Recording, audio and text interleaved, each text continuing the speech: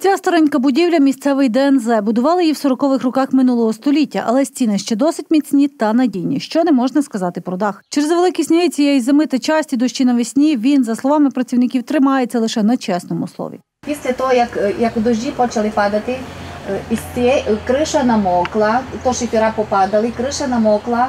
І звідти з того угла, дивіться, як тріснуло, стіна йде по швам. До цього вікна, дивіться, там над вікном вже тріснуло. Тож все буде відпадати. А самий угол, вже почти прогнивший, вже лише держить на тому камачкові. Час від часу латали дах самі працівники дитячого садка за власні кошти та власними силами. Приносили з дому черепицю та жартують, складали, наче великий пазл, де якого не вистачає. Криша вже в нас дуже старенька.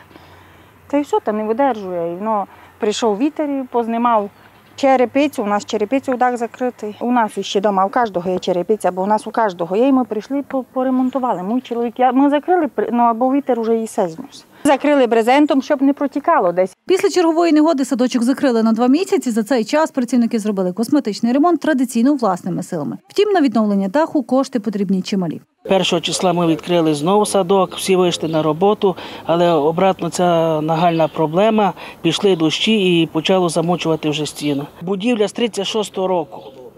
І в в двох кімнатах у мене знаходиться 42, 42 діточки. Виховують тут дітей від півтора до п'яти років. Є ще близько 35 заяв від батьків. Тож зберегти єдиний садочок у селі справа честі.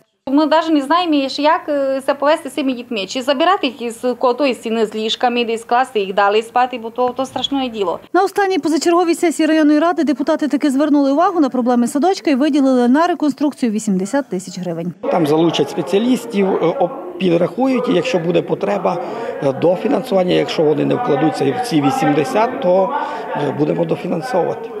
Після оформлення всіх необхідних процедур та проведення тендерів місцевих дітлахів будуть виховувати вже в оновленому дитсадку.